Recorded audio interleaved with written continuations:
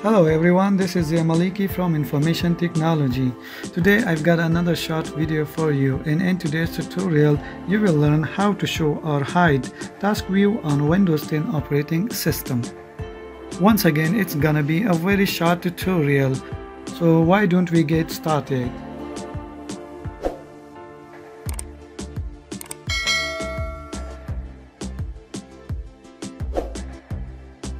Now if you are wondering what a task view is, task view is a virtual desktop that lets you manage windows across multiple monitors or virtual desktops.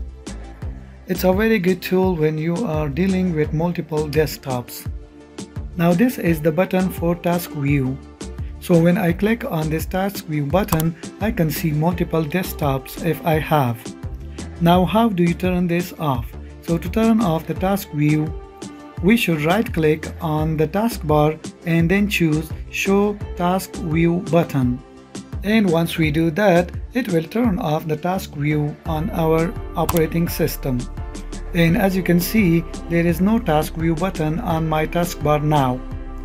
So if you want to bring the task view button back on your system we need to follow the same procedure. So we need to right click on the taskbar then click on show task view button. And when I do that it will show the task view button again on my taskbar. And as you can see the task view button is back again. So in this tutorial I showed you how you can turn on or turn off the task view button on Windows 10 operating system. That's all we have for you in this video.